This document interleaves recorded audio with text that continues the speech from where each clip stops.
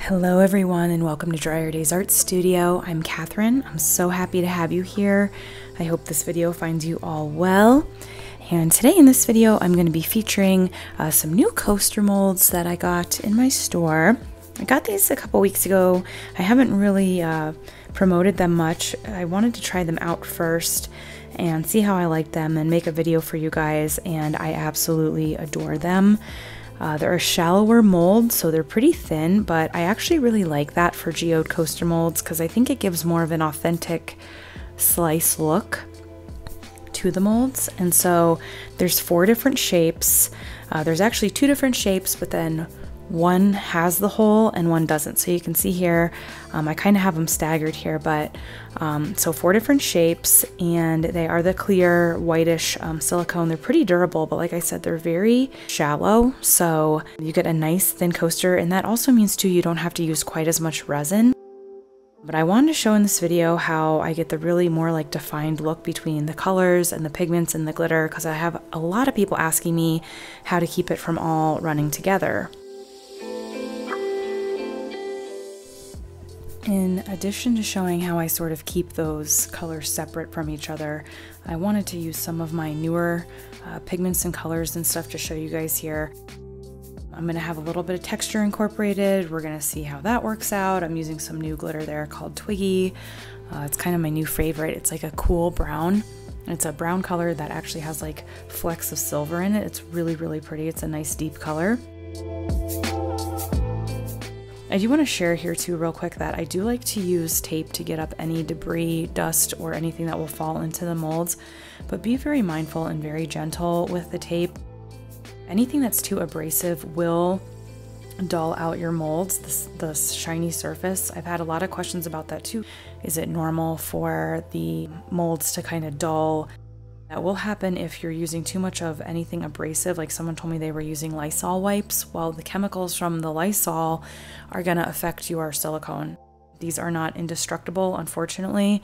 Uh, sometimes you do need to buy new ones and, and refresh them. All I do when I clean mine is I use warm soapy water and then I will use the tape if there if I notice some little dust or debris. I try not to do it every single time. Um, it's just a little tip to help you guys get any extra dust off the surface of the mold before you pour resin. And here I am using um, my gold cuttings, which is a fine texture. It's like little tiny gold rocks. It's really, really pretty. And you can see here I'm just putting it in selective spots.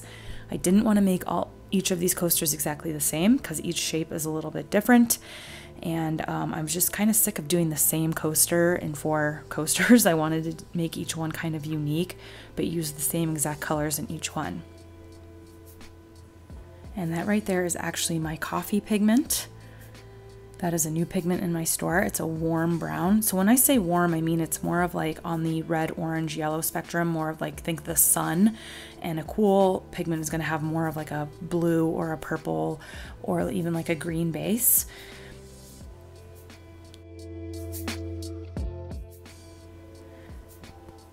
Next here I'm going to use my Twiggy glitter. And I want to add too, if you guys want some bonus content, I am going to have that over for my patrons over on my Patreon. There are links in the description on how you can go over and do that. Uh, that is a monthly subscription and it helps support my channel, just helps me make more content and bring newer products and tutorials to you guys. Um, thank you so much to my patrons over there. I had a couple new ones this month. I will be announcing you guys in the next video. Uh, so keep an ear out for that. And just using some very gentle heat here to uh, pop any bubbles, but a very low heat because I didn't want to move these pigments and colors around too much because again, we're kind of trying to keep them more separated. Okay, so my first tip on how I keep these colors more separated is I make the resin really thick. Here I'm using some antique lace from my store, and this is a really beautiful off-white. It has more of an antique look, more of kind of like a warm golden look to it. And it goes really nicely with browns and golds, so that's why I'm using it here, because I needed a highlight in these coasters. And so normally we tell you don't use more than a 10% ratio of pigment to your resin especially if you're using like acrylic paint because acrylic paint is water-based and it will really cause that resin to seize up and get really thick and gooey on you. But if you're using a mica pigment or a glitter of that is solvent resistant and works really well in resin, you can add a lot more of that into the resin and it'll really kind of thicken it up without making that resin seize up on you or uh, start overheating or get like sludge. So that is what I did in this instance was I really thickened up that resin uh, so that it wasn't moving around as much in the coaster and therefore it wasn't blending in too much with those other colors. You will see that I get some blending, but especially when I demold and pull these out, there is some really nice separation between each of my colors, pigments, glitters, and uh, textures in these coasters. I will say too, you only need about an ounce and a quarter of resin per each of these molds. A little bit more depending, you know, some people really, really like to fill their mold. Um, some like them a little bit shallower so that there's like a rim. Um, so I used about an ounce and a quarter, and I could probably still dome these a little bit. Um, right here, I'm using a biodegradable chunky glitter that I'm debating on getting in my store. I just want to share that real quick.